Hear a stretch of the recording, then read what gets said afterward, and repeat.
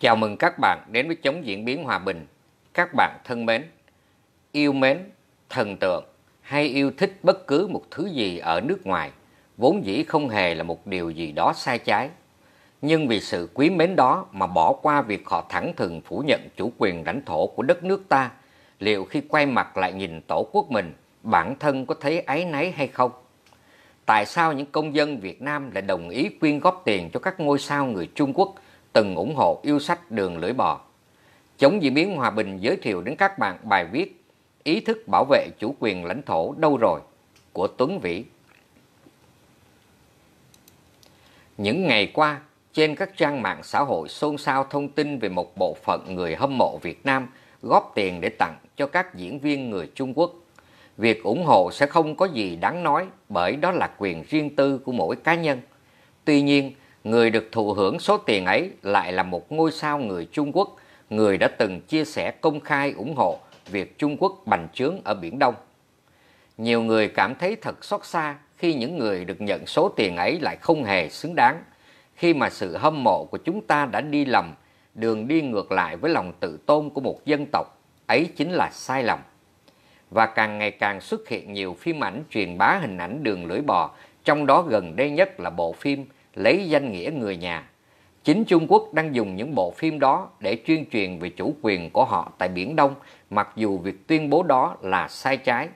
Và cùng từng ngày xuất hiện thêm nhiều Mỹ Châu ra sức bảo vệ biện hộ cho các thần tượng của mình. Chẳng nhẽ bộ phận người hâm mộ đó chấp nhận cái sai đến mù quáng như vậy. Hãy nhớ rằng họ, những ca sĩ, diễn viên Trung Quốc đã từng mạnh mẽ tuyên bố ủng hộ yêu sách đường lưỡi bò của Trung Quốc và cũng chính họ lại đang nhận được sự yêu thương và rất nhiều lợi ích từ người hâm mộ Việt Nam.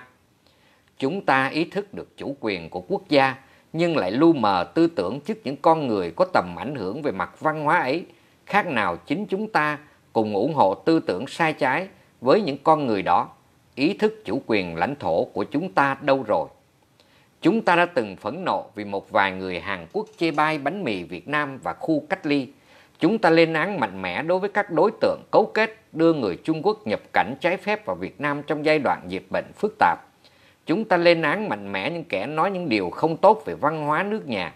Nhưng cũng chính chúng ta giờ đây là dễ dàng chấp nhận sự sai trái của thần tượng đối với chủ quyền lãnh thổ của đất nước.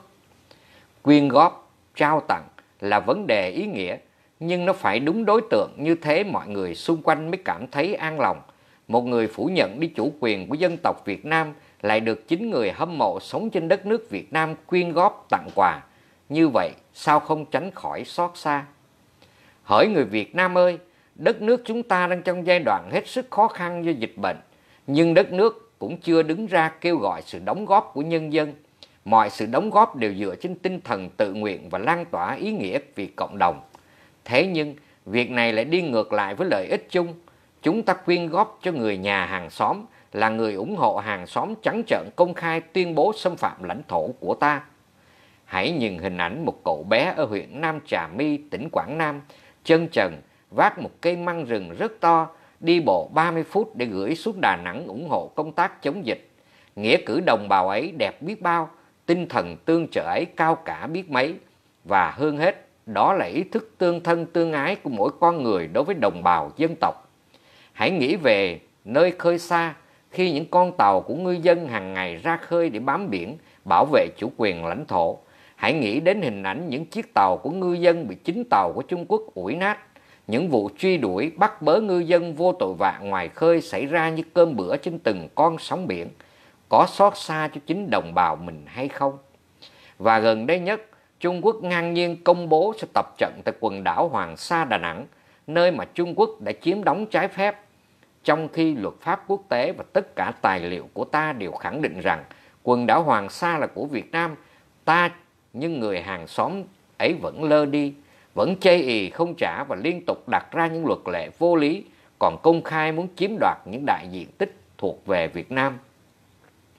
Và họ là những người đã ủng hộ những điều đó, chính là những người đã ủng hộ những điều sai trái, gạt phăng đi chủ quyền lãnh thổ của Việt Nam ta.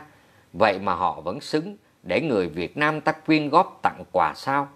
Hãy tưởng niệm về những người hùng trên đảo Gạc Ma năm ấy khi mà 64 chiến sĩ là đồng bào của ta phải nằm xuống để bảo vệ lãnh thổ trước sự xâm chiếm trái phép của Trung Quốc, nhưng vẫn không thể giữ nổi những người mẹ đã mất con, những người vợ mất chồng, gia đình mất đi những người thân yêu, chỉ vì lá cờ thiêng liêng nơi đảo xa, họ mất đi tất cả. Yêu mến, thần tượng hay yêu thích bất cứ một thứ gì ở nước ngoài vốn dĩ không hề là một điều gì đó sai trái, nhưng vì sự quý mến đó mà bỏ qua việc họ thẳng thừng phủ nhận chủ quyền lãnh thổ của đất nước ta, liệu khi quay mặt lại nhìn tổ quốc mình, bản thân có thấy áy náy hay không? Việc thần tượng không xấu, việc tặng quà không xấu, nhưng xin hãy nghĩ rằng chúng ta đang tặng quà cho ai. Nhưng trước khi nhìn ra thế giới, hãy nhìn đến đồng bào, dân tộc của ta đầu tiên. Những con người không tôn trọng đến chủ quyền lãnh thổ của ta mà lại được nhận quà từ chính đồng bào ta, thì sự hy sinh của ông cha ta năm xưa đổ máu để giành từng tất đất, từng con sông còn có ý nghĩa gì? Đồng bào ơi, ý thức bảo vệ chủ quyền lãnh thổ của ta đâu rồi?